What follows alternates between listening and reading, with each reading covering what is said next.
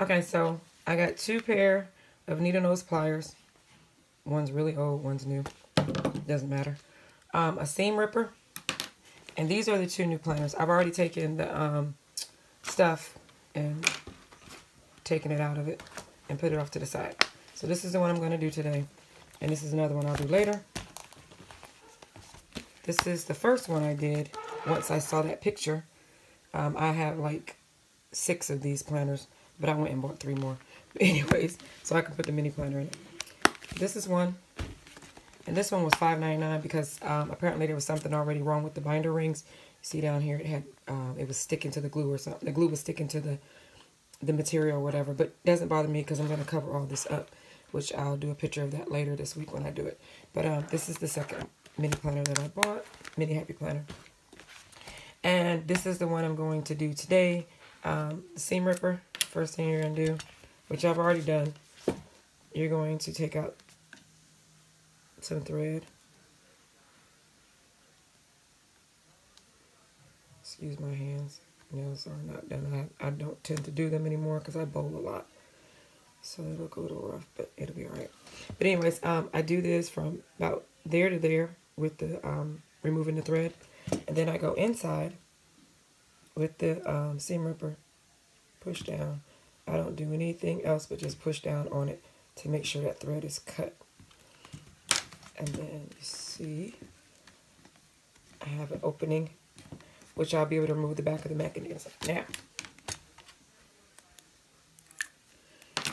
okay, you're to need two of these. And you're to need two because you're to need one to hold.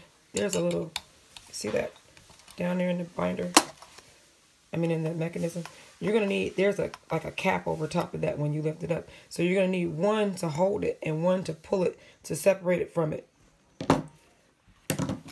But what I do, since I'm not trying to keep these, they're cheaply made anyways, they're real bendable. Oh, this one must be a little sturdier. Anyways, let's see.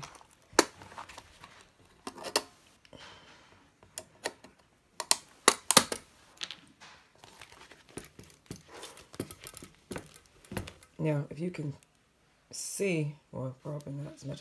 Okay, you see that back? There's a gold right there. That's like the cap that's over the silver underneath it. So, what I do is I bend this up like this.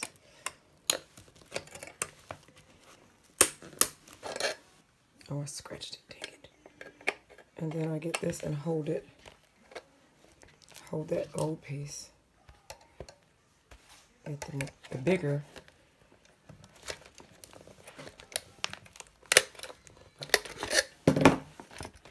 see now I should be able to pull it a little bit more to separate it from the binder. Oh man, oh no I didn't. Be careful when you're doing it because you don't want to rip it up out of there. I just kept doing it until it pried itself off.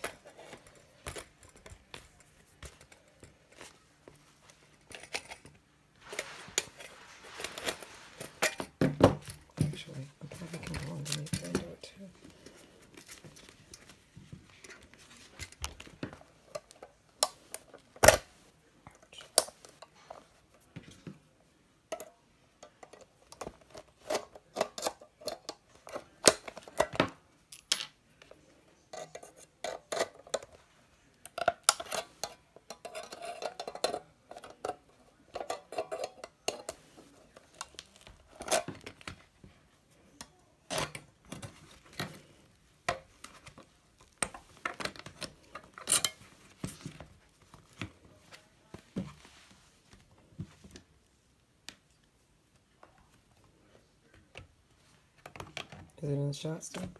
I oh, use a smaller one. It's hard to do this when I did it. I did it on the bed.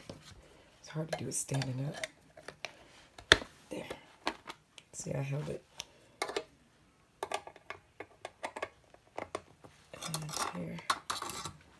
Same thing. Okay. Now, you got those two pieces in there, and they're attached to a piece of metal underneath it. What I did was